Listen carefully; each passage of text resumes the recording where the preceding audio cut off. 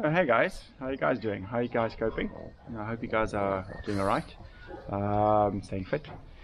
Um, with this, the video following, um, it's um, it didn't turn out the way I wanted to. It was um, I I had two missions in mind.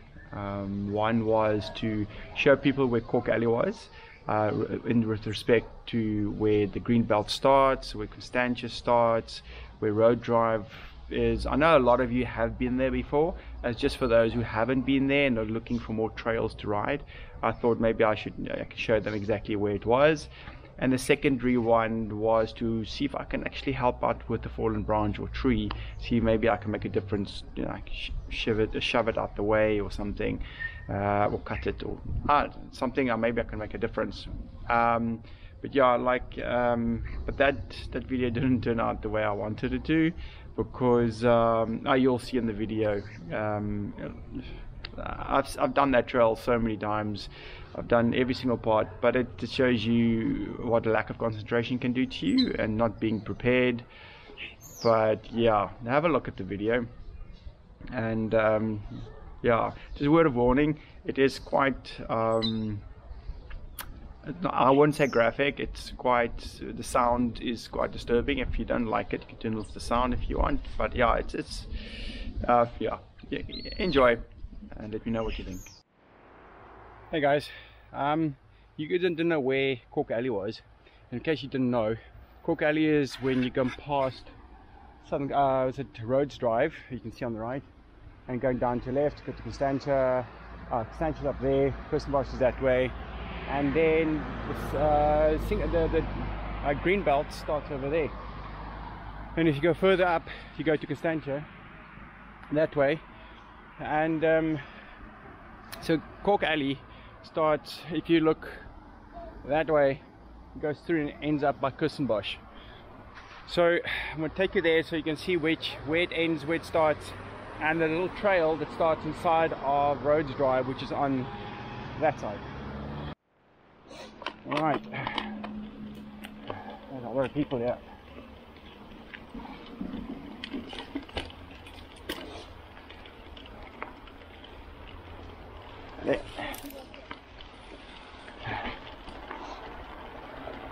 The Cork Alley is quite popular. It's got a few trails or leading lines. As you guys can see goes off to my right and then there's one over here.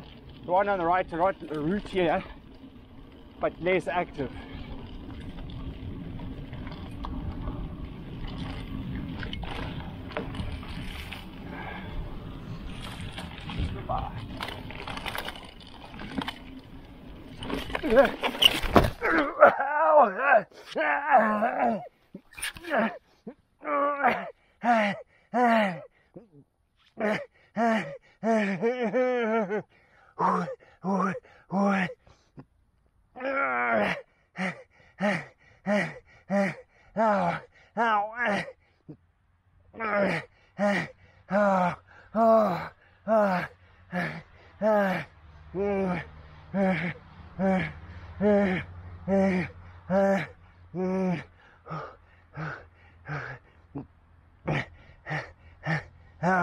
Help.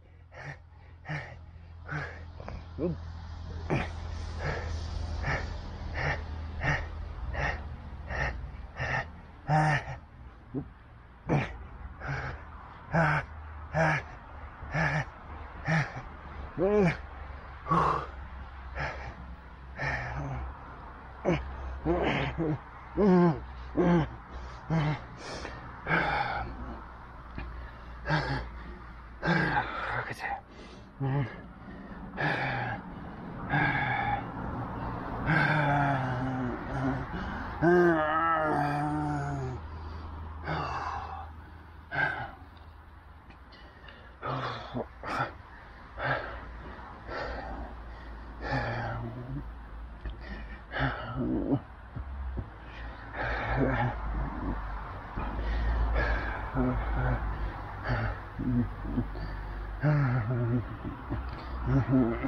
oh, fuck.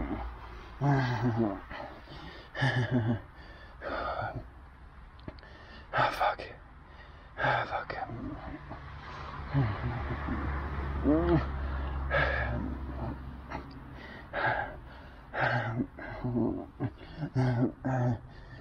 Oh, fuck, it hurts.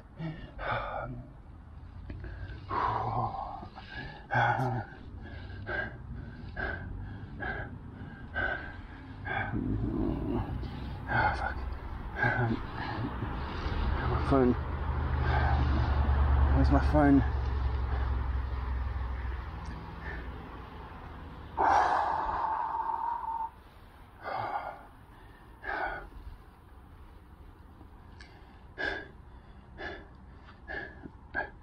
Fuck. Uh.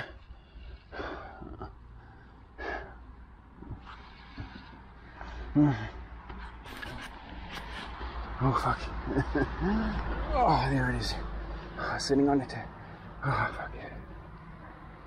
It's all good. It's all good. Ah. Oh. Oh.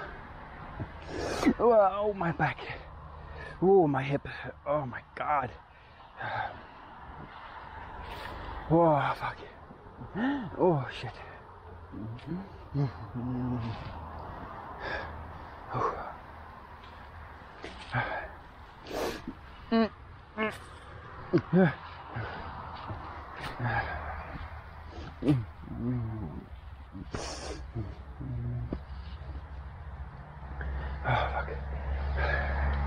Now the question is, am I still recording? I am. Is my bike okay? It's badly twisted. Ow, I fell off my shoe.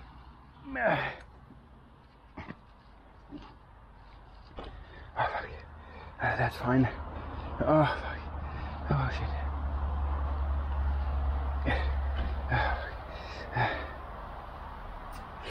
Oh, my God. My hip. Oh, my God. Oh,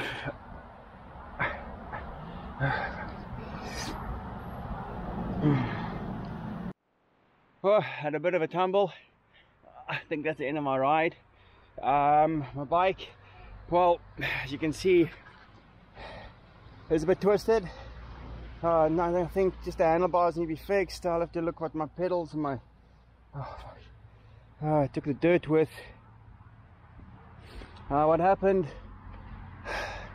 I hit that. I landed over here with my handlebar skew. It hit that, so it came from there, in there, hit the tree, and then it threw me out uh, onto the stump and into the the soil over here. So I was going to show you guys Cork Alley. Well, this is Cork Alley. The reason why it's called my ribs. The reason why this is called Cork Alley is the trees. Well, it's not this one. The ones down there are made out of cork. Or they're cork trees, not made out of cork. They're cork trees. Um, and then the other side of Rhodes Drive is that little trail that goes up all the way back to the green belt again. Well, sorry I couldn't take you guys take you guys through the entire route, but um, yeah, I think my ride's over, over now. But um, yeah, look after yourself, look after each other, and stay safe. So yeah, so you guys saw that. Um, it was um, it wasn't it wasn't pleasant. It just took me to totally by surprise. Um, I was fooling around the bike, setting up my suspension. I wasn't concentrating on the trail.